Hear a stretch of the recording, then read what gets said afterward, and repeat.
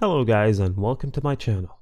In this video, I'm going to show you how to disable source control Visual Studio Code.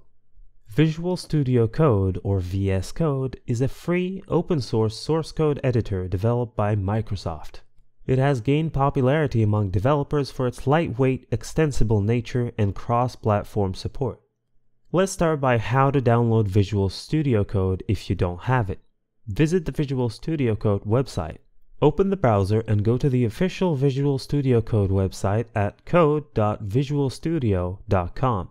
The website should automatically detect your operating system, Windows, macOS, or Linux, and provide you with the corresponding download link. If not, you can select your operating system manually. Click on the Download button to initiate the download of the Visual Studio Code installer. Once the download is complete, run the installer executable file. The file name varies depending on your operating system.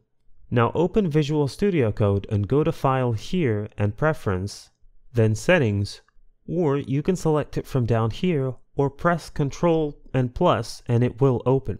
Here search for this, quote git dot auto repository detection, quote colon false, and press enter. This will come and make sure you make it false through here.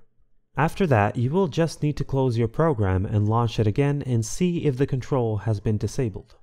And thank you for watching. If this video was helpful, please leave a like and subscribe to my channel for more videos like this and click on that notification bell to never miss an update.